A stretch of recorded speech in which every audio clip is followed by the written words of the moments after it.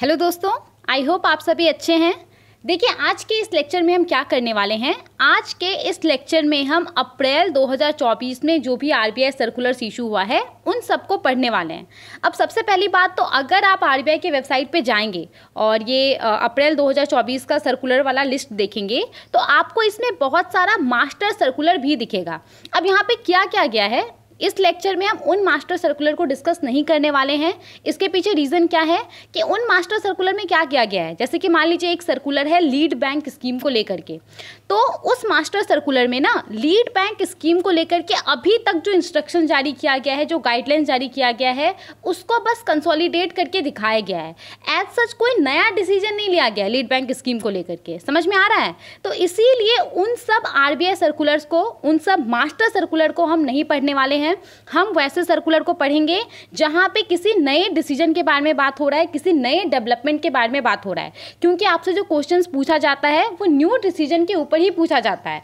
और अगर static point से क्वेश्चन पूछा भी जा रहा है ना तो वो भी न्यू डिसीज़न से ही रिलेटेड रहता है, ठीक है? तो यहाँ पे हम उन सब सर्कुलर को पढ़ने वाले हैं, जिसमें कि कुछ न्यू डिसीज़न के बारे में बात हो रहा है। अप्रैल 2024 का, ठीक है? तो चलिए शुरू करते हैं। अगर आपको इस पर्टिकुलर लेक्चर का पीडीएफ चाहिए होगा तो आपको आसानी से मिल जाएगा। टेलीग्राम चैनल का लिंक डिस्क्रिप्शन बॉक्स में दिया गया है। वहाँ से जाकर के आप इस लेक्चर का और आने वाला जितना भी लेक्चर है, उसका पीडीएफ डाउनलोड कर सकते हैं। ठीक है? तो चलिए शुरू करते हैं। तो यहाँ पे हमारे पास जो सर्कुलर है, ये सर्कुलर पाँच अप्रैल 2024 का है। आरबीआई ने आरबीआई एक्ट 1934 के सेकेंड स्केड्यूल में से मुंबई महाराष्ट्र बेस्ड एक अर्बन कोऑपरेटिव बैंक है, जिसका नाम है कपोल कोऑपरेटिव बैंक लिमिटेड इसको बाहर कर दिया है। तो कपोल कोऑपरेटिव बैंक लिमिटेड जो कि मुंबई बेस्ड एक अर्बन कोऑपरेटिव बैंक है, इसको आरबीआई ने आरबीआई एक्ट 1934 के सेकेंड स्केड्यूल से बाहर कर दिया है। तो अब आपको आर बी आई एक्ट 1934 के सेकेंड स्केड्यूल के लिस्ट में ये कपोल कोऑपरेटिव बैंक लिमिटेड नहीं दिखेगा।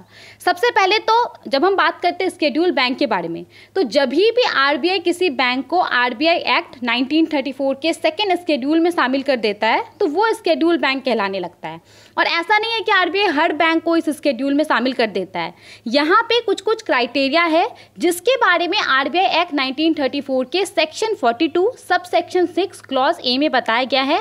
तो इन सब क्राइटेरिया के ऊपर जो भी बैंक खरा उतरता है, उसको ही आरबीआई इस सेकेंड स्केड्यूल में शामिल करता है। जिसको इस स्केड्यूल के अंदर नहीं रखा जाता है, वो नॉन स्केड्यूल बैंक कहलाने लगता है। और आपको पता होना चाहिए कि हर स्केड्यूल बैंक को मेनली दो तरह का फैसिलिटी प्रोवाइड किया जाता है। सबसे पहले तो वो एलिजिबल होता है आरबीआई से बैंक रेट के ऊपर डेट या फिर लोन लेने के लिए। देखिए, एक तो आपका होता है रेपो रेट तो जब कोई बैंक कोई भी कमर्शियल बैंक है, वो आरबीआई से रेपो रेट के ऊपर लोन ले रहा है तो बदले में उस बैंक को आरबीआई को कोलेट्रल के तौर पे गवर्नमेंट सिक्योरिटीज देना पड़ता है राइट लेकिन जब कोई बैंक आरबीआई से बैंक रेट के ऊपर लोन ले रहा है तो उस केस में उसको आरबीआई को किसी भी प्रकार का कोलेटल नहीं देना पड़ता है। तो कोई भी बैंक अगर आरबीआई से बैंक रेट के ऊपर लोन ले रहा है तो वो कोलेटल फ्री होता है। तो जितना भी स्केड्यूल बैंक है, वो एलिजिबल होता है आरबीआई से बैंक रेट के ऊपर लोन लेने के लिए। इसके बाद जितना भी आप स्केड्यूल बैंक देख रहे हैं, वो क्लियरिंग हाउस का मेंबर होता है। कोई बैंक है, उसको स्केड्यूल बैंक का दर्जा दे दिया गया तो वो ऑटोमेटिकली क्लियरिंग हाउस का मेंबर बन जाता है। अब इस कॉन्टेक्स्ट में अगर हम बात करें कि क्लियरिंग हाउस होता क्या है, देखिए क्लियरिंग हाउस और कुछ भी नहीं, एक ऐसा एंटिटी होता है, जो कि बैंकों के बीच में जो ट्रांजेक्शन्स होता है, उसको ये क्लियर और सेटल करने का काम करता है। जैसे कि मान लीजिए कोई एक बैंक का व्यक्ति है, उसने किसी दूसरे बैंक के व्यक्ति को पैसा ट्रांसफ़र किया या फिर चेक दिया तो इस केस में इन दोनों बैंक के बीच में जो क्लियरेंस और सेटलमेंट होगा, वो कौन करता है? ये क्लियरिंग हाउस करता है। तो जो भी स्केड्यूल बैंक है, वो ऑटोमेटिकली क्लियरिंग हाउस का उसके पास मेंबरशिप आ जाता है। और अगर कोई ऐसा बैंक है, जिसके पास क्लियरिंग हाउस का मेंबरशिप नहीं है तो फिर उसको ऐसे बैंक के ऊपर निर्भर होना पड़ता है क्लियरिंग और सेटलमेंट के लिए, जो कि क्लियरिंग हाउस का मेंबर है। तो यहाँ पे मेनली दो प्रिंसिपल फैसिलिटीज़ प्रोवाइड किया जाता है हर स्केड्यूल बैंक को। तो ये याद रखिएगा। सर्कुलर में क्या बोला जा रहा था कि मुंबई महाराष्ट्र बेस्ड एक बैंक है। अर्बन कोऑपरेटिव बैंक, जिसका नाम है कपोल कोऑपरेटिव बैंक लिमिटेड तो इसको आरबीआई ने आरबीआई एक्ट 1934 के सेकेंड स्केड्यूल से बाहर कर दिया है।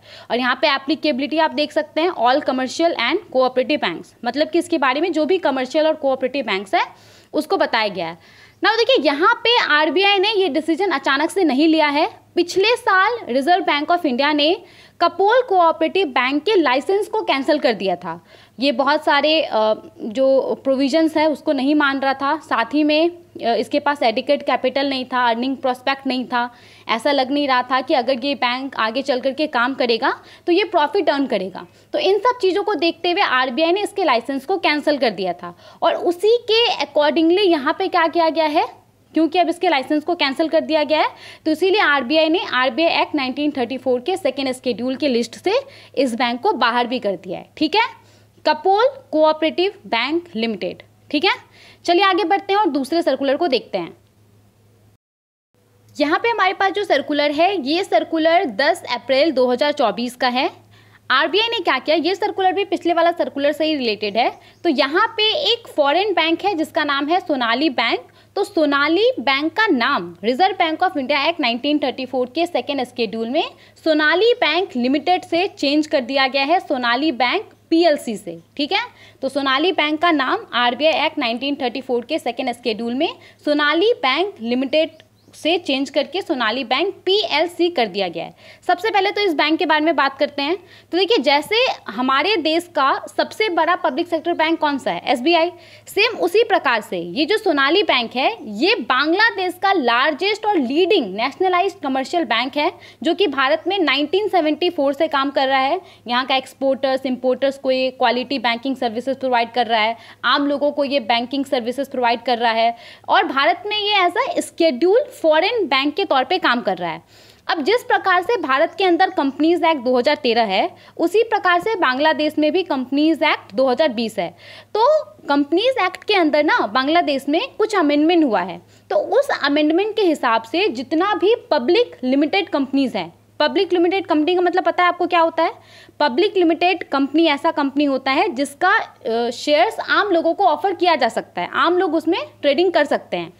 तो बांग्लादेश का जो कंपनीज़ एक्ट है, उसमें अमेंडमेंट किया गया है और उसके हिसाब से जितना भी पब्लिक लिमिटेड कंपनी है उसको अपने नाम के लास्ट में या तो पब्लिक लिमिटेड कंपनी लगाना होगा या तो पीएलसी लगाना होगा। और ये वाला जो नियम है, ये बांग्लादेश के अंदर जो बैंकिंग कंपनीज़ है, उसके ऊपर भी लागू होता है।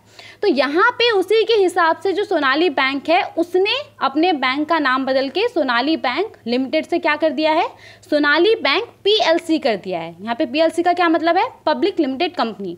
तो उसी के अकॉर्डिंगली यहाँ पे रिज़र्व बैंक ऑफ़ इंडिया ने भी क्या किया है? आरबीआई ने भी यहाँ पे reserve bank of India act 1934 के सेकेंड स्केड्यूल में सोनाली बैंक का नाम सोनाली बैंक लिमिटेड से सोनाली बैंक पीएलसी कर दिया है।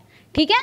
तो यही यहाँ पे डिसीज़न लिया गया है। अगर आप लिस्ट देखेंगे जो स्केड्यूल फॉरेन बैंक का लिस्ट है तो उसमें आपको सोनाली बैंक लिमिटेड के जगह पे सोनाली बैंक पीएलसी दिखेगा। और इसके बारे में जो भी कमर्शियल और कोऑपरेटिव बैंक्स है, उसको बताया गया है। तो ये हो गया हमारा सेकेंड सर्कुलर चलिए आगे बढ़ते हैं और तीसरे सर्कुलर को देखते हैं।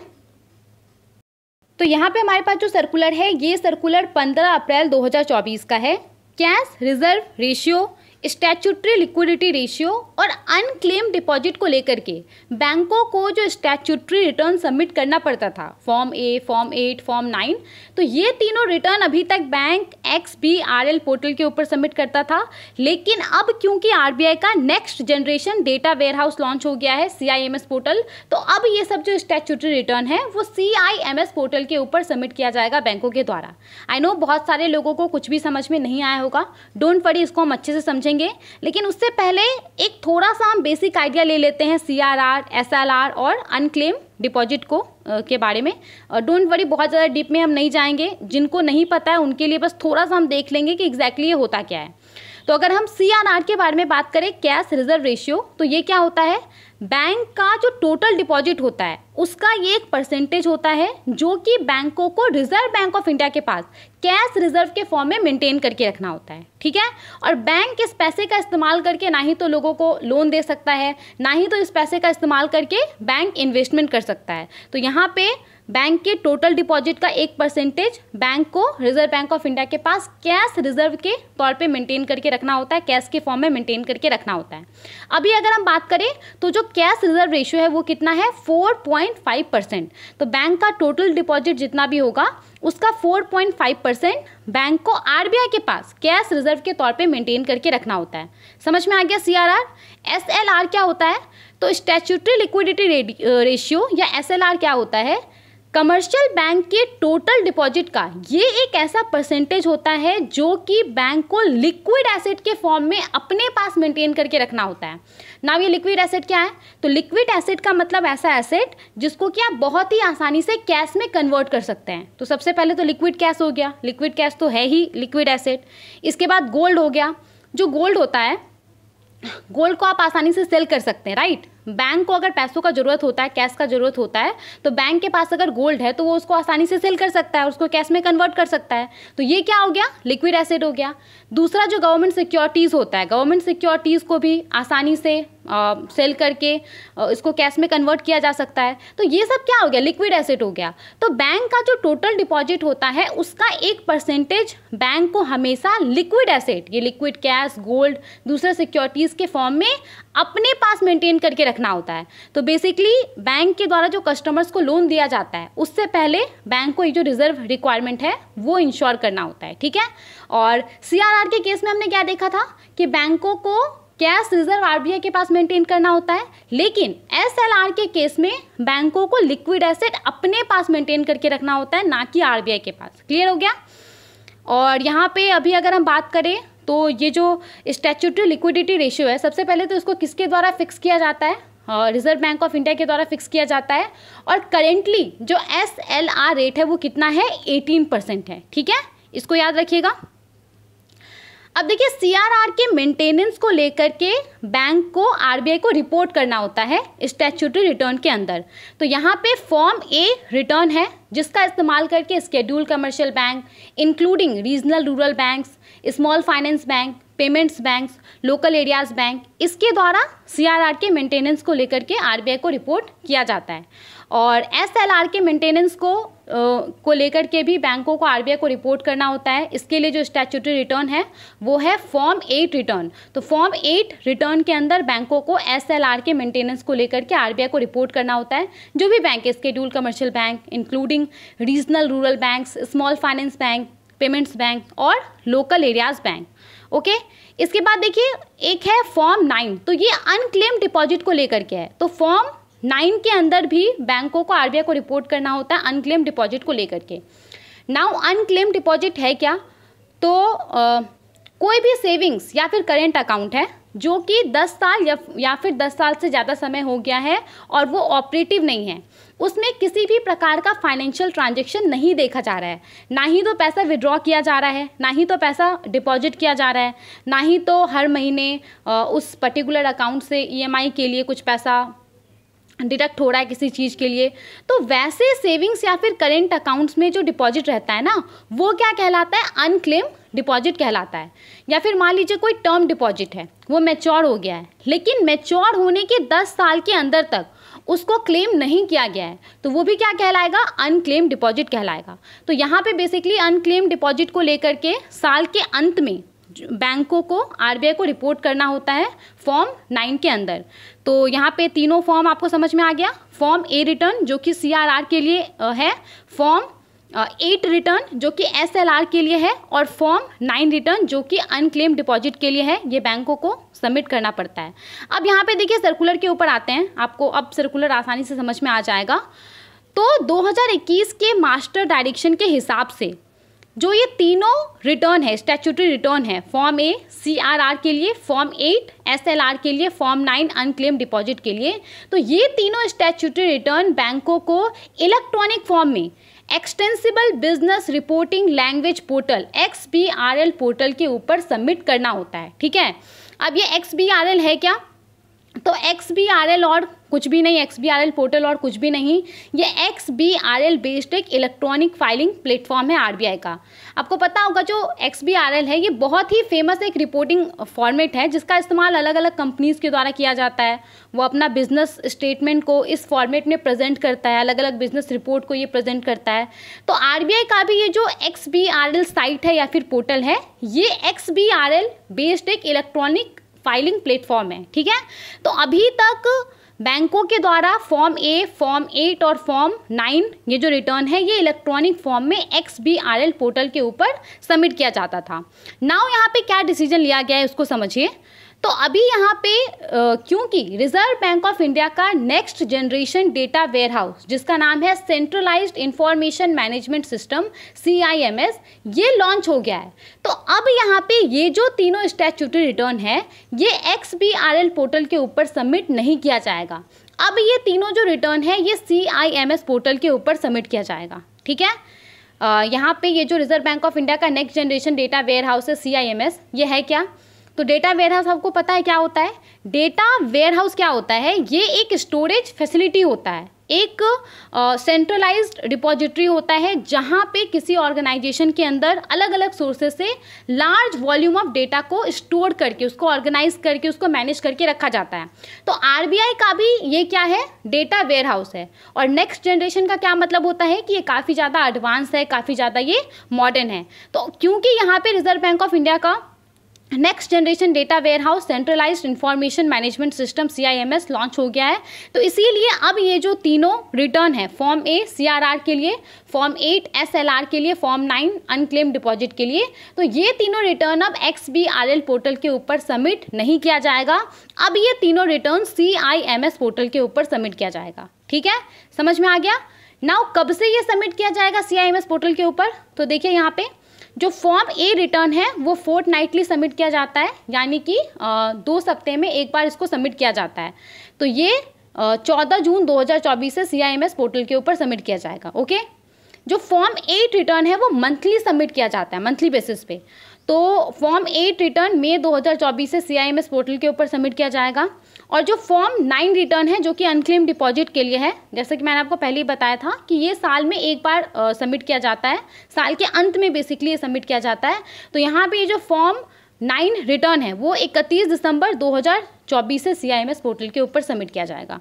अब देखिए, जो भी डेट्स हमने यहाँ पे देखा, ये तो अपकमिंग डेट्स है राइट तो यहाँ पे जब तक ये डेट नहीं आता है, तब तक फॉर्म ए और जो फॉर्म एट रिटर्न है, form A C R R के लिए और form eight S L R के लिए तो ये दोनों जो रिटर्न है ना, ये दोनों return X B R L के ऊपर भी सबमिट किया जाएगा और C I M S portal के ऊपर भी सबमिट किया जाएगा।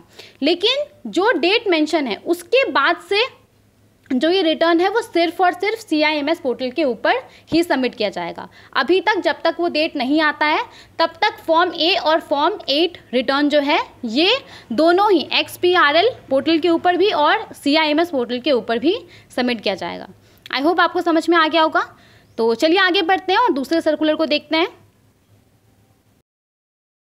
यहाँ पे हमारे पास जो सर्कुलर है, ये सर्कुलर 15 अप्रैल 2024 का है और ये बहुत ही ज़्यादा इंपॉर्टेंट सर्कुलर है। ये है किस चीज़ को लेकर के? तो ओवरसीज़ मार्केट के अंदर जो गोल्ड प्राइस रिस्क का हेजिंग होता है, यानी कि जो इंटरनेशनल मार्केट है इंटरनेशनल मार्केट के अंदर जो गोल्ड प्राइस रिस्क का हेजिंग होता है, उसको लेकर के ये पर्टिकुलर सर्कुलर है। तो इस सर्कुलर को समझने से पहले आपको ये पता होना चाहिए कि ये हेजिंग क्या है, ये गोल्ड प्राइस रिस्क का हेजिंग क्या है। तो इसको पहले हम थोड़ा सा समझ लेते हैं, उसके बाद हम इस सर्कुलर के ऊपर आएँगे ओके सबसे पहले अगर हम बात करें हेजिंग के बारे में तो हेजिंग क्या होता है? हेजिंग एक ऐसा प्रोसेस होता है जहाँ पे आप ऐसा एक्शन लेते हैं, ऐसा कदम उठाते हैं, जिससे किसी एसेट के अंदर जो प्राइस मूवमेंट होता है, उससे जो आपको रिस्क हो सकता है लॉस होने का जो आपको रिस्क हो सकता है, उसको आप कम करते हैं। तो हेजिंग को आप ना इंश्योरेंस पॉलिसी की तरह समझ सकते हैं। जैसे कि मान लीजिए एक व्यक्ति है उसने एक कार खरीदा है और अब अब उसको ना वो अपने कार का इंश्योरेंस करवाना चाहता है तो उसने एक इंश्योरेंस पॉलिसी खरीद लिया अपने कार के लिए, अब अगर उसके कार को किसी भी प्रकार का नुकसान होता है, आग लग जाता है या फिर चोरी हो जाता है एक्सीडेंट हो जाता है तो इस केस में जो भी उसको नुकसान हुआ है, उसका कुछ परसेंटेज कौन बियर करता है? इंश्योरेंस कंपनी बेयर करता है राइट तो यहाँ पे इस व्यक्ति ने क्या किया? यहाँ पे इस व्यक्ति ने इंश्योरेंस पॉलिसी बाई करके इसको जो रिस्क था लॉस होने का, उसको उसने क्या कर लिया? कम कर लिया। सेम इसी प्रकार से हेजिंग भी होता है। यहाँ पे अलग अलग फाइनेंशियल इंस्ट्रूमेंट अवेलेबल रहता है तो उसका इस्तेमाल करके किसी एसेट में जो प्राइस मूवमेंट होता है प्राइस बहुत ज़्यादा ऊपर चल जाता है, बहुत ज़्यादा नीचे चल जाता है तो इससे जो रिस्क हो सकता है, उसको कम किया जाता है। आई होप आपको समझ में आ गया होगा, एक ओवरऑल ओवरऑल आपको आइडिया आ गया होगा कि हेजिंग क्या होता है। यहाँ पे अगर आप गोल्ड प्राइस रिस्क के हेजिंग के बारे में समझेंगे तो आपको और भी क्लियर हो जाएगा, ठीक है? अब देखिए गोल्ड प्राइस रिस्क का हेजिंग से क्या मतलब है? तो यहाँ पे ऐसे स्ट्रेटजीज़ को अपनाया जाता है, ऐसा एक्शन लिया जाता है, जो गोल्ड प्रोड्यूसर होता है ज्वेलर होता है इन्वेस्टर्स होता है, उसके द्वारा, जिससे कि गोल्ड के प्राइस में जो मूवमेंट होता है गोल्ड के प्राइस में जो उतार चढ़ाव आता है, कभी ऊपर चल जाता है, कभी नीचे चल जाता है, इसकी वजह से जो इन सबको नुकसान हो सकता है, उसको कम किया जाता है। तो यहाँ पे गोल्ड प्राइस इसका हेजिंग का क्या मतलब है? कि गोल्ड प्राइस में जो फ्लक्चुएशन आता है, उसके वजह से जो गोल्ड प्रोड्यूसर ज्वेलर इन्वेस्टर्स को नुकसान हो सकता है। उस नुकसान को कम करने के लिए जो स्ट्रैटेजीज अपनाया जाता है, जो एक्शंस लिया जाता है, वही क्या कहलाता है? गोल्ड प्राइस रिस्क का हेजिंग कहलाता है ओके और देखिए, बहुत सारा फाइनेंशियल इंस्ट्रूमेंट अवेलेबल है। जैसे कि हेजिंग सिंपल हेजिंग के केस में हमने क्या देखा था? कि एक व्यक्ति है, उसने इंश्योरेंस पॉलिसी खरीद लिया और इसको खरीद करके उसको फ्यूचर में जो लॉस होने का रिस्क था, उसको उसने कम कर लिया, ठीक है? तो उसी प्रकार से बहुत सारा फाइनेंशियल इंस्ट्रूमेंट अवेलेबल होता है, जिसका इस्तेमाल करके गोल्ड प्राइस रिस्क का हेजिंग किया जाता है। जैसे कि future contract options forward contract और यहाँ पे एक बात ध्यान रखिएगा कि ये सब जो फाइनेंशियल इंस्ट्रूमेंट है, इसका इस्तेमाल सिर्फ़ गोल्ड प्राइस रिस्क के हेजिंग के लिए नहीं किया जाता है। और भी जो कमोडिटी है, जो ऑयल जो भी कमोडिटी है, उन सब में भी इन फाइनेंशियल इंस्ट्रूमेंट का इस्तेमाल करके उन सबको भी हेज किया जाता है ओके तो एक एक करके यहाँ पे ये जो तीनों फाइनेंशियल इंस्ट्रूमेंट है, जिसका इस्तेमाल करके गोल्ड के प्राइस में जो मूवमेंट आता है, उससे जो रिस्क रहता है, उसको कम किया जाता है तो इसको हम समझते हैं। सबसे पहले अगर हम देखें फ्यूचर कॉन्ट्रैक्ट के बारे में तो इसमें क्या होता है? ये बेसिकली एक ऐसा एग्रीमेंट है जो कि दो पार्टीज़ के बीच में होता है। इस एग्रीमेंट के तहत एक स्पेसिफिक एसेट को, ये कुछ भी हो सकता है गोल्ड हो सकता है ऑयल हो सकता है एग्रीकल्चर प्रोडक्ट हो सकता है, क्योंकि हम यहाँ पे गोल्ड प्राइस रिस्क हेजिंग के बारे में बात कर रहे हैं, इसीलिए यहाँ पे हम गोल्ड को लेते हैं। तो फ्यूचर कॉन्ट्रैक्ट बेसिकली कैसा एग्रीमेंट होता है दो पार्टीज़ के बीच में, जिसके तहत एक स्पेसिफिक एसेट को एक प्री डिटरमाइंड प्राइस पे, एक स्पेसिफाइड फ्यूचर डेट पे खरीदा जाता है। तो उस फ्यूचर डेट को किसी स्पेसिफिक एसेट का प्राइस कुछ भी हो मार्केट में उस उससे मतलब नहीं है। जो प्री डिटरमाइंड प्राइस रहता है उसी प्राइस पे उस एसेट को खरीदा जाता है। जैसे कि मान लीजिए गोल्ड प्रोड्यूसर है वो गोल्ड को माइन करके प्रोड्यूस करता है तो यहाँ पे वो आने वाले दिनों में बहुत सारा गोल्ड प्रोड्यूस करने वाला है। तो ये गोल्ड प्रोड्यूसर ना गोल्ड फ्यूचर कॉन्ट्रैक्ट को सेल कर सकता है। अब जैसे कि मान लीजिए दूसरी तरफ़ एक ज्वेलर है ज्वेलर को आ, फ्यूचर में बहुत सारा गोल्ड परचेस करना है ज्वेलरी मैन्युफैक्चर करने के लिए। लेकिन इस ज्वेलर को ऐसा लग रहा है ना कि आने वाले समय में जो गोल्ड का प्राइस है, वो काफ़ी ज़्यादा बढ़ जाएगा। तो एक काम तो ये कर सकता है कि अभी गोल्ड को बाई करके और अपने पास रख सकता है, लेकिन अभी इसके पास पैसा है नहीं, ये गोल्ड को फ्यूचर में बाई करना चाहता है। तो इस केस में ज्वेलर क्या कर सकता है? इस केस में ज्वेलर ये गोल्ड प्रोड्यूसर जो ये गोल्ड फ्यूचर कॉन्ट्रैक्ट सेल कर रहा है, इसको ये बाय कर सकता है। और इसके तहत फिर ये एक स्पेसिफाइड फ्यूचर डेट पे, एक प्री डिटरमाइंड प्राइस पे गोल्ड को बाय कर लेगा। डजेंट मैटर कि उस समय मार्केट में गोल्ड का प्राइस क्या है। तो यहाँ पे इसने क्या किया? यहाँ पे इसको जो गोल्ड प्राइस में मूवमेंट के वजह से नुकसान हो सकता था, उसको उसने क्या किया? कम कर लिया। तो यही है फ्यूचर कॉन्ट्रैक्ट ठीक है? इसके बाद देखिए एक है ऑप्शंस ऑप्शंस में क्या होता है? तो ये बेसिकली एक ऐसा फाइनेंशियल इंस्ट्रूमेंट होता है? तो कोई भी अगर बायर है, जो कि एक बायर है, उसने ऑप्शंस को ख़रीदा, ठीक है? तो यहाँ पे उसके पास ये अधिकार आ जाता है कि वो एक स्पेसिफाइड पीरियड के दौरान, एक प्री डिटरमाइंड प्राइस पे किसी स्पेसिफिक एसेट को बाय या फिर सेल कर सकता है। उसके पास ये राइट आ जाता है। अब इसका मतलब ये नहीं है कि वो ऑब्लिगेटेड ही है उसको एक स्पेसिफाइड पीरियड के दौरान एक प्री डिटरमाइंड प्राइस पे जो स्पेसिफिक एसेट है, वो बाय करना ही करना है। ये उसका राइट है, अगर वो चाहे तो उसको बाय नहीं भी कर सकता है। अब देखिए ऑप्शंस ना दो टाइप का होता है। एक तो होता है कॉल ऑप्शन और एक होता है पुट ऑप्शन मान लीजिए कि एक व्यक्ति है और उसको ऐसा लग रहा है ना, एक इन्वेस्टर है मान लीजिए, और उसको ऐसा लग रहा है ना कि आने वाले दिनों में गोल्ड का जो प्राइस है वो काफ़ी ज़्यादा बढ़ने वाला है। तो वो क्या कर लेगा? वो कॉल ऑप्शन खरीद लेगा। और कॉल ऑप्शन खरीदने के बाद वो एक स्पेसिफाइड पीरियड के दौरान उसके पास ये राइट आ जाएगा कि वो एक स्पेसिफाइड पीरियड के दौरान एक प्री डिटरमाइंड प्राइस पे गोल्ड को बाई कर सकता है। डजेंट मैटर कि उस समय गोल्ड का प्राइस मार्केट में क्या है। उसी प्रकार से मान लीजिए कोई दूसरा इन्वेस्टर है, उसने गोल्ड में निवेश किया हुआ है और उसको ऐसा लग रहा है ना कि आने वाले दिनों में जो गोल्ड का प्राइस है, वो नीचे चले जाएगा। तो इस केस में वो क्या कर सकता है? वो पुट ऑप्शन खरीद सकता है।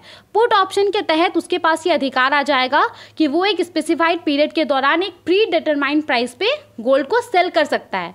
तो यहाँ पे ये होता है ऑप्शन एक, इसका दो टाइप होता है, एक तो कॉल ऑप्शन होता है और एक पुट ऑप्शन होता है। और ध्यान रखिएगा कि ऑप्शन के अंदर जो ऑप्शन का बायर रहता है, क्योंकि ये एक फाइनेंशियल इंस्ट्रूमेंट है राइट तो इसको कोई बाई करता है हेज करने के लिए।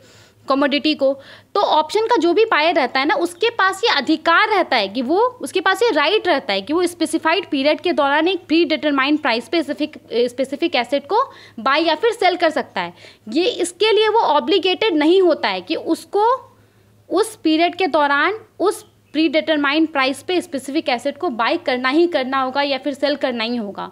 तो ये ऑब्लिगेटेड नहीं रहता है वो, ये बस उसका अधिकार रहता है राइट रहता है, ठीक है? यही यहाँ पे मेंशन भी है कि option are financial instrument that give the buyer the right but not the obligation to buy मतलब कि कॉल ऑप्शन और सेल पुट ऑप्शन और specific asset at a pre determined price within a specified period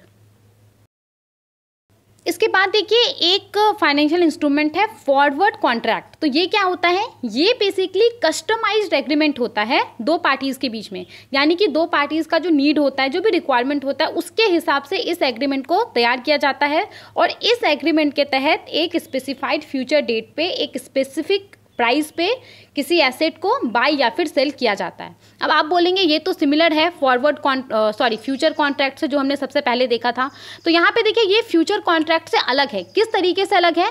तो जो future contract है future contract में हमने क्या पढ़ा था? फ्यूचर कॉन्ट्रैक्ट में हमने पढ़ा था कि ये दो पार्टीज़ के बीच में एक एग्रीमेंट है, जिसके तहत एक फ्यूचर डेट पर एक प्री डिटरमाइंड प्राइस पे किसी एसेट को बाई या फिर सेल किया जाता है। तो ये फ्यूचर कॉन्ट्रैक्ट पढ़ा था हमने और फॉरवर्ड कॉन्ट्रैक्ट में हमने क्या पढ़ा कि ये कस्टमाइज एग्रीमेंट होता है दो पार्टीज़ के बीच में। यानी कि दोनों पार्टीज़ का जो नीड रहता है, जो रिक्वायरमेंट रहता है, उसके हिसाब से इस एग्रीमेंट को तैयार किया जाता है, जिसके तहत एक स्पेसिफाइड फ्यूचर डेट पे, एक स्पेसिफाइड प्राइस पे किसी एसेट को बाय या फिर सेल किया जाता है। तो यहाँ पे आपको दोनों सिमिलर लगा होगा। लेकिन देखिए डिफरेंस क्या है? तो जो फ्यूचर कॉन्ट्रैक्ट है, वो स्टैंडर्डाइज्ड होता है और उसका ट्रेडिंग होता है स्टॉक एक्सचेंज के ऊपर। उसको बाय किया जा सकता है, उसको स्टॉक एक्सचेंज के ऊपर सेल किया जा सकता है और ये सभी के लिए सेम होता है। लेकिन जो फॉरवर्ड कॉन्ट्रैक्ट होता है, ये प्राइवेटली नेगोशिएटेड होता है, यानी कि ये जो दो पार्टीज़ के बीच में हो रहा है, उन दोनों का जो रिक्वायरमेंट है, उसके हिसाब से इस कॉन्ट्रैक्ट को तैयार किया जाता है। तो ये बात याद रखिएगा, जो फॉरवर्ड कॉन्ट्रैक्ट होता है, वो स्टॉक एक्सचेंज पे ट्रेडेड नहीं रहता है, उसका आप स्टॉक एक्सचेंज पे ट्रेडिंग नहीं कर सकते हैं, लेकिन जो फ्यूचर कॉन्ट्रैक्ट रहता है, उसको आप स्टॉक एक्सचेंज पे ट्रेड कर सकते हैं। तो फॉरवर्ड कॉन्ट्रैक्ट का अगर हम एक एग्जांपल देखें तो देखिए, मान लीजिए कि कोई ज्वेलरी मैन्युफैक्चरर है, और उसको ऐसा लग रहा है कि जो आने वाला फेस्टिवल सीज़न है, जो अभी वेडिंग्स आएगा, उसके दौरान जो गोल्ड का प्राइस है, वो बहुत ज़्यादा बढ़ जाएगा। तो ज्वेलरी मैन्युफैक्चरर को ऐसा लग रहा है। तो यहाँ पे ये क्या कर सकता है? यहाँ पे ये एक गोल्ड सप्लायर के साथ एक एग्रीमेंट कर सकता है, जिसके तहत मान लीजिए कि एग्रीमेंट के तहत ये डिसाइड हुआ कि आज से तीन महीने के बाद जो ज्वेलरी मैन्युफैक्चरर है, वो एक फिक्स्ड प्राइस पे इस गोल्ड सप्लायर से जो गोल्ड है वो बाई करेगा। तो कुछ इस तरीके से फॉरवर्ड कॉन्ट्रैक्ट काम करता है, ठीक है? ये तीनों इंस्ट्रूमेंट हमने देख लिया। क्या क्या हमने देखा? फ्यूचर कॉन्ट्रैक्ट ऑप्शंस और फॉरवर्ड कॉन्ट्रैक्ट और ध्यान रखिएगा कि जो फ्यूचर कॉन्ट्रैक्ट है और जो ऑप्शंस है, ये दोनों ऐसा फाइनेंशियल इंस्ट्रूमेंट है जो कि स्टॉक एक्सचेंज पे जिसका ट्रेडिंग होता है तो इसको स्टॉक एक्सचेंज पे बाय करके सेल करके जो हेजिंग है वो किया जा सकता है। लेकिन जो फॉरवर्ड कॉन्ट्रैक्ट होता है, वो स्टॉक एक्सचेंज पे इसका ट्रेडिंग नहीं होता है। तो इस बात को याद रखिएगा, ठीक है? अब आइए अपने सर्कुलर के ऊपर आते हैं। आई होप अब आपको सर्कुलर आसानी से समझ में आ जाएगा कि इसमें क्या बोला जा रहा है। सबसे पहले तो देखिए, दिसंबर 2022 में आरबीआई ने रेसिडेंट एंटिटीज़ को अलाउ कर दिया था कि ये इंटरनेशनल फाइनेंशियल सर्विसेज़ सेंटर में जो भी एक्सचेंजेस है, जो कि international financial services centre authority के द्वारा रिकॉग्नाइज है, उसके ऊपर वो जो फाइनेंशियल इंस्ट्रूमेंट अवेलेबल है, उसका इस्तेमाल करके गोल्ड प्राइस रिस्क को हैज़ कर सकता है। सबसे पहले तो यहाँ पे रेसिडेंट एंटिटीज़ का क्या मतलब है? तो देखिए आरबीआई ने भी इसको बहुत अच्छे से क्लेरिफाई नहीं किया है कि रेसिडेंट एंटिटीज़ का क्या मतलब है। लेकिन आरबीआई के सर्कुलर में जो डेफिनेशन दिया गया है, उसके हिसाब से resident other than individuals or eligible entities मतलब कि इंडिविजुअल्स को छोड़ करके जो रेसिडेंट है, जो कंपनीज़ है, जो कॉरपोरेशन है, वो सबको यहाँ पे एलिजिबल एंटिटीज़ माना गया है। और अगर मैं आपको मोर मोर स्पेसिफिकली बताऊँ तो जो भी क्वालिफाइड ज्वेलर होता है बैंक होता है वो यहाँ पे रेसिडेंट एंटिटीज़ है। और आईएफएससी के बारे में तो आपको पता ही होगा। आईएफएससी क्या है? हमारे देश के अंदर जो स्पेशल इकोनॉमिक जोन है, जहाँ पे कंपनीज़ के लिए बिजनेसेस के लिए जो रूल रेगुलेशन होता है, वो आसान होता है। तो स्पेशल इकोनॉमिक जोन के अंदर एक स्पेशलाइज्ड डेजिग्नेटेड एरिया है इंटरनेशनल फाइनेंशियल सर्विसेज़ सेंटर इसको यहाँ पे क्या होता है? यहाँ पे दुनिया भर का जो फाइनेंशियल इंटिटीज़ है वो आता है, अपना ब्रांच सेटअप करता है, यूनिट सेटअप करता है सब्सिडरी सेटअप करता है और यहाँ से ये भारत के लोगों को भी और भारत के बाहर के लोगों को भी फाइनेंशियल सर्विसेज़ प्रोवाइड करता है। फॉरेन करेंसी में ये बात याद रखिएगा। इंटरनेशनल फाइनेंशियल सर्विसेज़ सेंटर के यहाँ पे जो फाइनेंशियल सर्विसेज़ लोगों को प्रोवाइड किया जाता है, वो इंडियन करेंसी में प्रोवाइड नहीं किया जाता है, वो फॉरेन करेंसी में प्रोवाइड किया जाता है, ठीक है? और हमारे देश के अंदर अभी मात्र एक ही आईएफएससी है international financial services centre GIFT IFSC जो कि गुजरात के गांधीनगर में है ओके तो यहाँ पे और आईएफएससी को रेगुलेट कौन करता है? तो इसको रेगुलेट करने के लिए एक यूनिफाइड अथॉरिटी है, जिसका नाम है international financial services centre authority IFSC है तो यहाँ पे दिसंबर 2022 में आरबीआई ने जो भी रेसिडेंट एंटिटीज़ है क्वालिफाइड ज्वेलर्स बैंक उसको अलाउ कर दिया था कि वो आईएफएससी के अंदर जो एक्सचेंजेस है, जिसको कि international financial services centre authority के द्वारा रिकॉग्नाइज किया गया है। तो जैसे कि बीएससी है एन है तो इन सब का IFSC के अंदर सब्सिडरी है, वो काम करता है। तो आईएफएससी के अंदर जो एक्सचेंजेस है, जिसको कि आई के द्वारा रिकॉग्नाइज किया गया है तो यहाँ पे जो फाइनेंशियल इंस्ट्रूमेंट अवेलेबल है, इसका इस्तेमाल करके resident entities gold price risk को हैज़ कर सकता है। इसके लिए अलाउ कर दिया गया था दिसंबर 2022 में रेसिडेंट एंटिटीज़ को, ठीक है? अब यहाँ पे क्या फैसला लिया गया है उसको समझिए। तो यहाँ पे रेसिडेंट एंटिटीज़ को और भी ज़्यादा फ्लेक्सिबिलिटी प्रोवाइड करने के लिए क्या बोला गया है कि अभी तक तो क्या था कि आईएफएससी के अंदर जो एक्सचेंजेस है, उसके ऊपर जो डेरिवेटिव्स है, सिर्फ़ उसका इस्तेमाल करके resident entities gold price risk को हेज कर सकता था। लेकिन अब वो आईएफएससी के अंदर जो ओ डेरिवेटिव्स है, उसका इस्तेमाल करके भी गोल्ड प्राइस रिस्क को हैज़ कर सकता है। इसका मतलब क्या होता है? देखिए, सबसे पहले तो यहाँ पे डेरिवेटिव्स क्या है? तो जो भी हमने फाइनेंशियल इंस्ट्रूमेंट देखा ना future contract options forward contract ये सब क्या है? डेरिवेटिव्स ही है। डेरिवेटिव्स ऐसा फाइनेंशियल इंस्ट्रूमेंट होता है जिसका वैल्यू किसी दूसरे एसेट के ऊपर निर्भर करता है। तो जो भी हमने बात किया future contract options forward contract ये सब क्या है? डेरिवेटिव्स ही है। तो आईएफएससी के अंदर जो एक्सचेंजेस है बीएससी का जो सब्सिडरी है एन का जो सब्सिडरी है तो वहाँ पर जो डेरिवेटिव्स है ना, जैसे कि फ्यूचर कॉन्ट्रैक्ट हो गया ऑप्शंस हो गया। उन सब का इस्तेमाल करके अभी तक resident entities gold price risk को हेज कर सकता था। लेकिन अब इनको अलाउ कर दिया गया है कि ये आईएफएससी के अंदर जो ओटीसी डेरिवेटिव्स है मतलब कि over the counter derivatives over the counter में क्या होता है? यहाँ पे दो पार्टी के बीच में डायरेक्टली ट्रेडिंग होता है। बीच में कोई स्टॉक एक्सचेंज नहीं रहता है। तो जो ओवर द काउंटर डेरिवेटिव है, जैसे कि फॉरवर्ड कॉन्ट्रैक्ट फॉरवर्ड कॉन्ट्रैक्ट में क्या होता है? फॉरवर्ड कॉन्ट्रैक्ट में हमने क्या देखा कि यहाँ पे दो पार्टीज़ के बीच में ये हो रहा था एग्रीमेंट हो रहा था राइट तो अब यहाँ पे बोलने का मतलब ये है कि जो भी रेसिडेंट एंटिटीज़ है ना, वो जो फॉरवर्ड कॉन्ट्रैक्ट है, उसका इस्तेमाल करके भी, क्योंकि वो क्या है, वो एक तरह का ओटीसी डेरिवेटिव है। ये स्टॉक एक्सचेंज पे अवेलेबल नहीं रहता है। वो क्या है ओ डेरिवेटिव है। तो जो भी रेसिडेंट एंटिटीज़ है, वो अब फॉरवर्ड कॉन्ट्रैक्ट का इस्तेमाल करके भी जो गोल्ड प्राइस रिस्क है, उसको हेज कर सकता है। तो यही यहाँ पे सबसे बड़ा फैसला लिया गया है इस सर्कुलर में, इस सर्कुलर का जो सबसे इंपॉर्टेंट पॉइंट है वो यही है। आप चाहें तो यहाँ पे एक बार पढ़ सकते हैं। देखिए क्या लिखा गया है कि it has now been decided to permit resident entities to hedge their exposure to price risk of gold using O T जैसे कि ओ टी सी डेरिवेटिव्स यहाँ पे क्या हो गया जो फॉरवर्ड कॉन्ट्रैक्ट है, उसके बारे में बात हो रहा है। Using O T C derivative in the international financial services centre in addition to the derivatives on the exchanges in the I F S C तो आई एफ़ एस सी के अंदर जो एक्सचेंजेस है, उसके ऊपर जो डेरिवेटिव्स अवेलेबल है like future contract and options तो उसका इस्तेमाल करके तो अभी तक रेसिडेंट एंटिटीज के द्वारा हेज किया ही जाता था गोल्ड प्राइस रिस्क को। लेकिन अब जो आई एफ़ एस सी के अंदर ओ टी सी डेरिवेटिव है, जैसे कि फॉरवर्ड कॉन्ट्रैक्ट तो उसका इस्तेमाल करके भी अब गोल्ड प्राइस रिस्क को हेज किया जा सकता है। तो बस यही इस पूरे सर्कुलर में बोला गया है। और यहाँ पे देखिए, जब आईएफएससी के अंदर ओटीसी डेरिवेटिव्स का इस्तेमाल करके गोल्ड प्राइस रिस्क को हेज किया जाएगा रेसिडेंट इंटिटीज़ के द्वारा तो जो भी 2022 का मास्टर डायरेक्शन है master direction foreign exchange management hedging of commodity price risk and freight risk in overseas market तो इसके अंदर जो रूल रेगुलेशंस है, उसको ध्यान में रखते हुए यहाँ पे ओ डेरिवेटिव्स का इस्तेमाल करना है। और क्योंकि ये जो इंस्ट्रक्शन लिया गया है, ये जो इंस्ट्रक्शन अभी जारी किया गया है तो ये तुरंत एप्लीकेबल हो जाएगा। और इस इंस्ट्रक्शन के हिसाब से मास्टर डायरेक्शन को लाने के लिए इस मास्टर डायरेक्शन को भी अपडेट कर दिया गया है। इसके अलावा जो डायरेक्शंस के बारे में हमने बात किया, ये फॉरेन एक्सचेंज मैनेजमेंट एक्ट 1999 के सेक्शन 10 सबसेक्शन 4 और सेक्शन 11 सबसेक्शन 1 के तहत इशू किया गया है। एप्लीकेबिलिटी के बारे में अगर हम बात करें तो जो भी authorised dealer category one banks है, उन सब के ऊपर ये जो सर्कुलर है, ये एप्लीकेबल होगा। ओके चलिए आगे बढ़ते हैं और अब अपने दूसरे सर्कुलर को पढ़ते हैं। देखिए, यहाँ पे हमारे पास जो सर्कुलर है, ये सर्कुलर 15 अप्रैल 2024 का है। लोन्स और एडवांसेस के लिए जो की फैक्ट स्टेटमेंट होता है के उसको लेकर के ये सर्कुलर है। देखिए, सबसे पहले तो की फैक्ट स्टेटमेंट होता क्या है? जब आप बैंक में लोन लेने के लिए जाते हैं तो आपके और बैंक के बीच में एक एग्रीमेंट होता है। एक लोन एग्रीमेंट रहता है, जिसको आपको साइन करना होता है, उसके बाद आप बैंक से लोन लेते हैं। अब ये जो लोन एग्रीमेंट होता है ना, इसको बहुत कम ही लोग पढ़ के साइन करते हैं। आधे से ज़्यादा लोग इसको बिना पढ़े ही साइन करते हैं।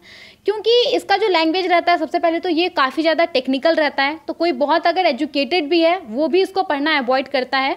और दूसरी बात यह है कि ये काफ़ी ज़्यादा लेंदी रहता है। तो यहाँ पे लोन एग्रीमेंट का जो की फैक्ट है, जो मोस्ट इंपॉर्टेंट पॉइंट है, जैसे कि इंटरेस्ट रेट हो गया लोन का टेन्योर हो गया, इन सब के बारे में एटलीस्ट बोरोवर को पता हो जो लोन ले रहा है, इस उद्देश्य से बैंकों के द्वारा जो भी लेंडर है, जो भी फाइनेंशियल इंस्टीट्यूशन है, उसके द्वारा बोरोवर को की फैक्ट स्टेटमेंट प्रोवाइड किया जाता है। ये होता क्या है?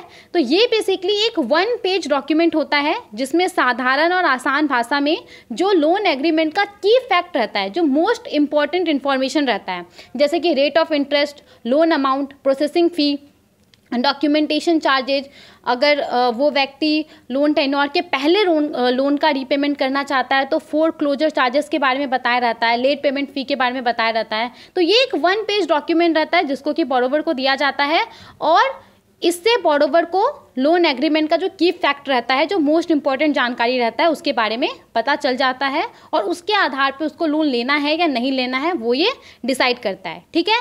समझ में आ गया की फैक्ट स्टेटमेंट तो लोन्स और एडवांसेस के लिए जो की फैक्ट स्टेटमेंट जारी किया जाता है, उसको लेकर के सर्कुलर है।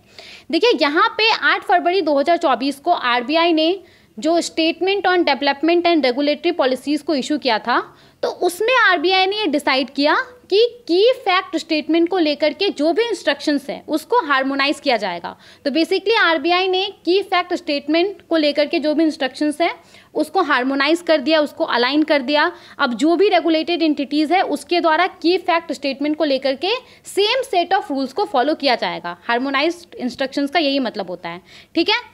अब यहाँ पे आ, कौन कौन सा इंस्ट्रक्शंस के बारे में बात हुआ है उसके पहले यहाँ पे देखिए कुछ कुछ हाँ ये जो हारमोनाइज इंस्ट्रक्शन जारी किया गया है तो इससे होगा क्या? तो सबसे पहले तो इससे ट्रांसपेरेंसी बढ़ेगा और एक जो इन्फॉर्मेशन एसिमेट्री है, देखिए रेगुलेटेड इंटिटीज़ के द्वारा जो अलग अलग फाइनेंशियल प्रोडक्ट इशू किया जाता है तो किसी फाइनेंशियल प्रोडक्ट के बारे में ज़्यादा नॉलेज किसके पास होगा? जिसके द्वारा इशू किया जा रहा है, जो रेगुलेटेड इंटिटी है, उसके पास ज़्यादा नॉलेज होगा राइट जो बोरोवर है, उसके पास उतना नॉलेज नहीं रहता है जो कस्टमर है, उसके पास उतना नॉलेज नहीं रहता है। तो यहाँ पे जो इम्बैलेंस होता है, जो गैप होता है इन्फॉर्मेशन में, इसी को क्या बोला जाता है? इन्फॉर्मेशन एसिमेट्री बोला जाता है। तो इन्फॉर्मेशन एसिमेट्री को ये रिड्यूस करेगा, जो हार्मोनाइज इंस्ट्रक्शन है वो, और यहाँ पे बोरोवर्स को ये एम्पावर करेगा कि ये एक इन्फॉर्म्ड फाइनेंशियल डिसीज़न ले सके। इसके अलावा देखिए, जो भी हार्मोनाइज्ड इंस्ट्रक्शंस के बारे में हम बात करने वाले हैं, ये जो भी रिटेल और एमएसएमई टर्म लोन है, जो कि रेगुलेटेड इंटिटीज़ के द्वारा प्रोवाइड किया जाता है, उन सब के ऊपर एप्लीकेबल होगा। तो जो इंडिविजुअल्स को लोन दिया जाता है whether it is car loan home loan और जो पर्सनल लोन होता है, या जो माइक्रो स्मॉल मीडियम इंटरप्राइजेस को लोन प्रोवाइड किया जाता है तो इन सब केस में ये जो हार्मोनाइज्ड इंस्ट्रक्शंस है, वो एप्लीकेबल होगा। इंस्ट्रक्शंस के ऊपर जाने से पहले सर्कुलर में कुछ कुछ टर्म को डिफाइन किया गया है तो इसको हम समझ लेते हैं। सबसे पहले तो यहाँ पे की फैक्ट का क्या मतलब है, इसको डिफाइन किया गया है। तो देखिए की फैक्ट यहाँ पे जो लोन एग्रीमेंट जैसा कि हमने बोला कि की फैक्ट स्टेटमेंट में क्या होता है लोन एग्रीमेंट का की फैक्ट होता है। तो की फैक्ट का क्या मतलब है? तो लोन एग्रीमेंट का जो की फैक्ट होता है, ये ऐसा फैक्ट होता है जो कि लीगली सिग्निफिकेंट होता है। यानी कि इसका कुछ लीगल इंपॉर्टेंस होता है और ये डेटर्मिनिस्टिक फैक्ट होता है।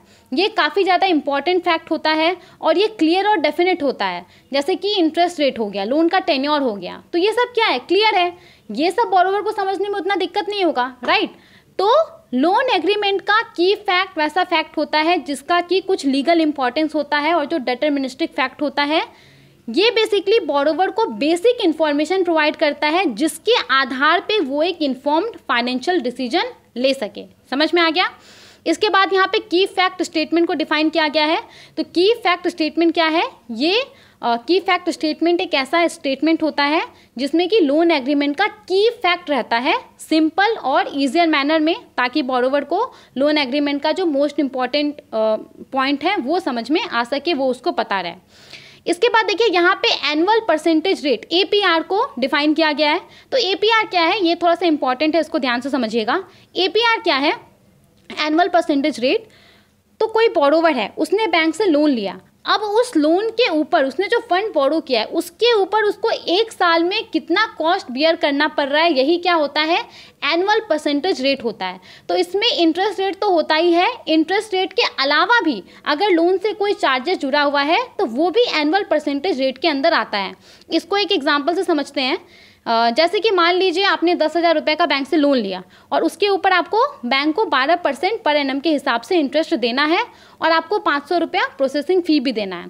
तो यहाँ पे आप इंटरेस्ट कितना पे करेंगे? एक साल में आपने जो दस हज़ार रुपया लोन लिया है, बारह सौ रुपया और आपको पाँच सौ रुपया प्रोसेसिंग फ़ी भी देना होगा तो फाइव हंड्रेड तो यहाँ पे एक साल में आपने जो फंड बोरो किया है दस हज़ार, उसके ऊपर आपको कितना कॉस्ट आ रहा है? सेवनटीन हंड्रेड आपको कॉस्ट आ रहा है। और अगर आप इसको परसेंटेज में निकालेंगे तो ये कितना हो जाएगा? सेवनटीन परसेंट हो जाएगा, ठीक है? तो इस एग्ज़ाम्पल में हमारा जो ए पी आर है एनुअल परसेंटेज रेट वो कितना है? सेवनटीन परसेंट है। तो एनुअल परसेंटेज रेट क्या होता है? आपने जो फंड बोरो किया है, उसके ऊपर आपको एक साल में कितना कॉस्ट बियर करना पड़ रहा है। ये कितना कॉस्टली है आपके लिए एक साल में? यही क्या होता है? एनुअल परसेंटेज रेट होता है। इसमें इंटरेस्ट रेट तो होता ही होता है। इसके अलावा भी अगर लोन से जुड़ा हुआ कोई चार्जेस है तो वो भी इसमें शामिल रहता है ओके इसके बाद देखिए, यहाँ पे इक्वेटेड पीरियोडिक इंस्टॉलमेंट ईपीआई को डिफाइन किया गया है। तो ये क्या है? तो ये लोन का रीपेमेंट करने का एक तरीका है। ये बेसिकली एक इक्वेटेड या फिक्स्ड अमाउंट होता है, जिसमें कि प्रिंसिपल का पैसा भी शामिल रहता है और इंटरेस्ट का पैसा भी शामिल रहता है। और ये बोरोवर को एक रेगुलर इंटरवल पे देना होता है fixed number of such interval यानी कि तीन बार, चार बार, हर महीने या हर दो महीने पे, हर तीन महीने पे, हर छः महीने में इस तरीके से बॉडोवर को ये देना होता है। अब देखिए, अगर equated periodic instalment monthly basis पे हो रहा है, यानी कि आपको हर महीने पे एक इक्वेटेड या फिक्स्ड अमाउंट देना पड़ रहा है बैंक को, जिसमें प्रिंसिपल और इंटरेस्ट दोनों शामिल है तो ये क्या कहलाता है तब? ई एम आई कहलाता है, ठीक है? इक्वेटेड मंथली इंस्टॉलमेंट के कहलाता है। तो ये यहाँ पे चार टर्म था जिसको कि डिफाइन किया गया है।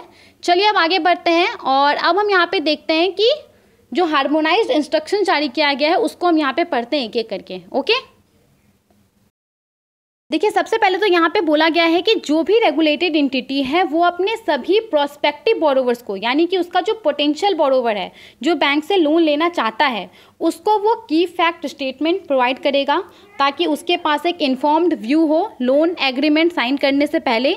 इसके बाद जो की फैक्ट स्टेटमेंट है, वो ऐसे लैंग्वेज में लिखा होगा ताकि बोरोवर को समझ में आ सके। और की फैक्ट स्टेटमेंट का जो कंटेंट होगा, इसमें जो भी पॉइंट लिखा रहेगा इंटरेस्ट रेट के बारे में लोन का टेन्योर के बारे में एपीआर के बारे में, जो भी लिखा होगा, उन सबको समझाना होगा लेंडर को बोरोवर को, और फिर एक एक्नॉलेजमेंट भी लेना होगा कि बोरोवर को ये सभी चीज़ें समझ में आ गया है, उसके बाद ही ये लोन कॉन्ट्रैक्ट साइन कर रहा है। इन सबके अलावा देखिए, जो की फैक्ट स्टेटमेंट है उसके साथ हर एक की फैक्ट स्टेटमेंट के साथ एक यूनिक प्रपोजल नंबर होगा और हर एक की फैक्ट स्टेटमेंट का एक वैलिडिटी पीरियड होगा। तो लोन का जो टर्म्स होता है उसको एक्सेप्ट करने के लिए तो अगर लोन का टेन्योर सात दिन या फिर सात दिन से ज़्यादा है तो इस केस में जो की फैक्ट स्टेटमेंट का वैलिडिटी पीरियड होगा, वो कम से कम तीन दिन होगा। तो तीन दिन का समय होगा बोरोवर के पास, वो लोन एग्रीमेंट को जो लोन का टर्म्स है, उस पर सहमत होने के लिए। और अगर लोन का टेन्योर सात दिन से ज़्यादा है तो इस केस में जो वैलिडिटी पीरियड होगा की फैक्ट स्टेटमेंट का, वो एक दिन का होगा। अब देखिए, अगर इस वैलिडिटी पीरियड के दौरान जो बोरोवर है, वो उस टर्म्स पे कंडीशन पे एग्री हो जाता है तो उसके बाद फिर रेगुलेटेड एंटिटी उन टर्म्स कंडीशन को चेंज नहीं कर पाएगा। उसको उसी टर्म्स के ऊपर बोरोवर को लोन देना होगा। और अगर इस वैलिडिटी पीरियड के दौरान जो बोरोवर है, वो इन टर्म्स पे एग्री नहीं होता है तो फिर रेगुलेटेड एंटिटीज इन टर्म्स को चेंज कर सकता है। ओके इसके बाद देखिए की फैक्ट स्टेटमेंट के अंदर जो एनुअल परसेंटेज रेट है एपीआर है, वो किस तरीके से कैलकुलेट होगा उसके बारे में भी बताया जाएगा। और जो लोन के टेन्योर के दौरान जो लोन का एमोटाइजेशन स्केड्यूल होगा, उसके बारे में भी समझाया जाएगा कि किस तरीके से बॉरोवर को एक फिक्स्ड इंटरवल के बाद कुछ अमाउंट इंस्टॉलमेंट के तौर पे पे करना होगा, जिसमें प्रिंसिपल भी होगा और इंटरेस्ट भी होगा तो इन सब के बारे में भी की फैक्ट स्टेटमेंट में जानकारी होगा टेबल के फॉर्म में। इन सब के अलावा अगर रेगुलेटेड इंटिटी किसी थर्ड पार्टी सर्विस प्रोवाइडर के बिहार पे बोरोवर से कोई चार्ज रिकवर कर रहा है इंश्योरेंस चार्ज लीगल चार्ज कुछ भी तो ये एपीआर का पार्ट ही होगा, जो एनुअल परसेंटेज रेट है, उसके पार्ट के तौर पे इसको देखा जाएगा और इसको सेपरेटली डिस्क्लोज भी किया जाएगा, इसको सेपरेटली दिखाया भी जाएगा ओके और कहीं पे भी अगर रेगुलेटेड इंटिटीज़ के द्वारा किसी थर्ड पार्टी के बिहार पे बोरोवर से किसी प्रकार का चार्ज लिया जा रहा है तो जो भी रिसीट होगा, उससे रिलेटेड डॉक्यूमेंट होगा, वो बोरोवर को प्रोवाइड करना होगा हर पेमेंट के बाद एक रीजनेबल टाइम के अंदर में। और कोई भी ऐसा फ़ी या फिर चार्जेस जिसके बारे में की फैक्ट स्टेटमेंट में मेंशन नहीं है, वो रेगुलेटेड इंटिटी बोरोवर से चार्ज नहीं कर सकता है पूरे लोन टेन्योर के दौरान में कभी भी बिना बोरोवर के सहमति के। इन सब के अलावा देखिए, हमने बिगनिंग में क्या बात किया था कि एक तो होता है लोन एग्रीमेंट जिसको आपको साइन करना होता है, लेकिन जो लोन एग्रीमेंट होता है ना, उसका लैंग्वेज काफ़ी टेक्निकल होता है और वो काफ़ी लेंदी होता है, इसी की वजह से लोग उसको नहीं पढ़ते हैं। तो यहाँ पे एक एडिशनल डॉक्यूमेंट बोरोवर को प्रोवाइड किया जाता है की फैक्ट स्टेटमेंट ये एक वन पेज डॉक्यूमेंट होता है, जिसमें कि लोन एग्रीमेंट का की फैक्ट रहता है। तो यहाँ पे बोला जा रहा है ना कि की फैक्ट स्टेटमेंट तो प्रोवाइड किया ही जाएगा, लेकिन जो लोन एग्रीमेंट होगा ना लोन एग्रीमेंट के अंदर भी जो की फैक्ट स्टेटमेंट है, उसको समराइज फॉर्म में दिखाया जाएगा। तो इस चीज़ को भी इंश्योर करने के लिए बोला गया है। तो ये हमने बात कर लिया इंस्ट्रक्शंस के बारे में, जो कि रेगुलेटेड इंटिटी को मानना है। अब यहाँ पे इस सर्कुलर का जो भी प्रोविजंस है, वो क्रेडिट कार्ड रिसीवेबल्स के ऊपर लागू नहीं होगा। आपके क्रेडिट कार्ड का, के ऊपर जो आउटस्टैंडिंग बैलेंस रहता है, जो आपको पे करना होता है तो इन सब केस में ये सर्कुलर का जो भी प्रोविजंस है, वो एप्लीकेबल नहीं होगा। एप्लीकेबिलिटी और कमेंसमेंट के बारे में अगर हम बात करें तो यहाँ पे रेगुलेटेड इंटिटीज़ को बोला गया है कि वो जो भी नेसेसरी सिस्टम है, उसको इस्टेब्लिश करे ताकि जल्द से जल्द ये जो गाइडलाइंस है, उसको इम्प्लीमेंट किया जा सके। इन सब के अलावा देखिए, ये जो हारमोनाइज इंस्ट्रक्शंस है, वो कब से एप्लीकेबल होगा? तो दिस इज़ वेरी इंपॉर्टेंट ये कब से एप्लीकेबल होगा? एक अक्टूबर 2024 से। तो एक अक्टूबर 2024 या इसके बाद जो भी रिटेल या फिर एमएसएमई टर्म लोन प्रोवाइड किया जाता है रेगुलेटेड एंटिटीज़ के द्वारा तो उन सभी के ऊपर ये जो प्रोविजंस है वो एप्लीकेबल होगा। या फिर एक अक्टूबर 2024 या फिर उसके बाद अगर कोई ऐसा कस्टमर है, जिसने बैंक से पहले लोन लिया हुआ है और अभी वो फ्रेश लोन ले रहा है तो इस केस में भी जो इंस्ट्रक्शंस है वो लागू होगा। और यहाँ पे एक अक्टूबर 2024 तक इस पीरियड के दौरान मतलब अभी तो आया नहीं है, अभी आने वाला है तो इस पीरियड के दौरान जो भी रेलेवेंट प्रोविजंस है की फैक्ट स्टेटमेंट या फैक्ट सीट को लेकर के बेसिकली यहाँ पे जैसे कि एक गाइडलाइंस है डिजिटल लेंडिंग के ऊपर इसके बाद मास्टर डायरेक्शन है regulatory framework for micro finance loans को लेकर के display of information by banks इसके ऊपर एक सर्कुलर है। तो ये सब सर्कुलर में जो भी प्रोविजंस है वो uh, जो भी अभी एग्जिस्टिंग गाइडलाइन है वो जैसे है वैसे ही रहेगा। अगर हम बात करें लीगल प्रोविजंस के बारे में किन किन एक्ट के तहत इन इंस्ट्रक्शंस को जारी किया गया है। तो यहाँ पे banking regulation act 1949 reserve bank of India act 1934 और नेशनल हाउसिंग बैंक एक्ट 1987 के तहत ये जो इंस्ट्रक्शंस है, इसको जारी किया गया है। इन सब के अलावा देखिए, यहाँ पे तीन सर्कुलर है, एक है 2015 का और दो है 2022 का। तो इन तीनों सर्कुलर को ना रिपील कर दिया गया है, हटा दिया गया है। लेकिन क्योंकि अभी एक अक्टूबर 2024 से ये जो हार्मोनाइज्ड इंस्ट्रक्शन है, ये जारी होगा।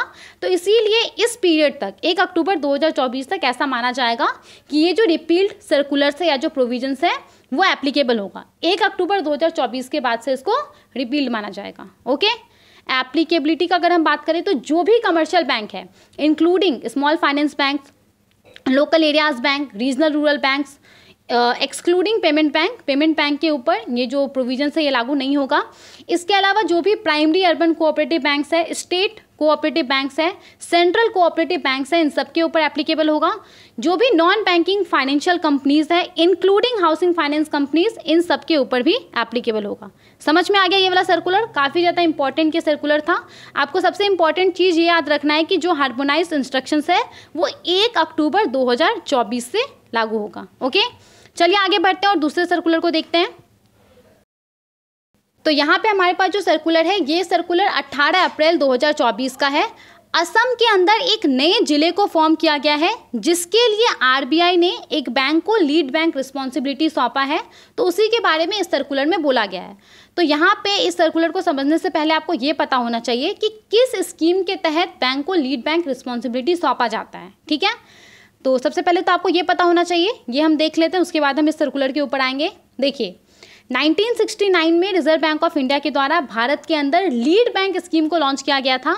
इसका उद्देश्य क्या था कि हमारे देश में जो ग्रामीण इलाका है, जो सेमी अर्बन एरियाज़ है, जो अर्ध शहरी एरियाज़ है तो वहाँ पे लोगों को जो बैंकिंग सर्विसेज़ मिल रहा है, वहाँ पे लोगों को जो क्रेडिट फैसिलिटी मिल रहा है, जो लोन मिल रहा है तो उन सब चीज़ों को इम्प्रूव करने के लिए यहाँ पे लीड बैंक स्कीम को लॉन्च किया गया था 1969 में। इस स्कीम के तहत होता क्या है? तो इस स्कीम के तहत भारत में जितना भी डिस्ट्रिक्ट है, हर एक डिस्ट्रिक्ट के अंदर एक पर्टिकुलर कमर्शियल बैंक को लीड बैंक के तौर पे चुना जाता है। और वो करता क्या है? तो वो उस बैंक के वो उस जिला के अंदर लीडर के तौर पे काम करता है। उस डिस्ट्रिक्ट के अंदर जो दूसरा क्रेडिट इंस्टीट्यूशन है, उन सभी के द्वारा जो प्रयास किया जाता है agriculture MSC other economic activities में क्रेडिट फ्लो को बढ़ाने के लिए तो उन सब प्रयासों को ये कोऑर्डिनेट करने का काम करता है। बेसिकली एक लीडर के तौर पे ये काम करता है। तो यहाँ पे जैसे कि मान लीजिए एक डिस्ट्रिक्ट है, इस डिस्ट्रिक्ट के अंदर सबसे ज़्यादा ब्रांच एसबीआई का है। तो इस डिस्ट्रिक्ट के लिए स्टेट बैंक ऑफ़ इंडिया को लीड बैंक के तौर पे चुन दिया गया। और ये जो स्टेट बैंक ऑफ़ इंडिया है, अब ये उस डिस्ट्रिक्ट के अंदर जो दूसरा क्रेडिट इंस्टीट्यूशन है उसको लीड करने का काम करेगा लीडर के तौर पे काम करेगा, उसको कोऑर्डिनेट करने का काम करेगा। उसके द्वारा जो भी प्रयास किया जा रहा है क्रेडिट फ्लो को बढ़ाने के लिए उसमें, ठीक है? अब हम आते हैं अपने सर्कुलर के ऊपर, समझ में आ गया? लीड बैंक स्कीम क्या होता है? इस स्कीम के तहत जितना सारा भी डिस्ट्रिक्ट है भारत के अंदर, हर एक डिस्ट्रिक्ट के अंदर एक पर्टिकुलर कमर्शियल बैंक को लीड बैंक के तौर पे चुना जाता है। नाउ देखिए, यहाँ पे क्या फैसला लिया गया है? तो असम सरकार के द्वारा असम के अंदर एक नया जिला को फॉर्म किया गया है, जिसका नाम है तामुलपुर।